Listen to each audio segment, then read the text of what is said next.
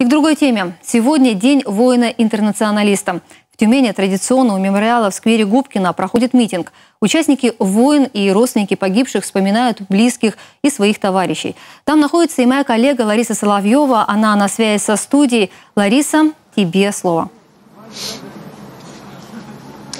Ир, добрый день. В 11 часов здесь начался митинг. Он закончился буквально 10 минут назад, а участники уже разошлись. Но вы видите, что мемориал в Губкинском сквере весь усыпан живыми цветами. Так бывает каждый год. 15 февраля 1989 года последняя колонна советских войск покинула Афганистан. Именно к этому событию приурочен День воина-интернационалиста. Сегодня на территории Тюменской области проживает больше двух тысяч участников той войны.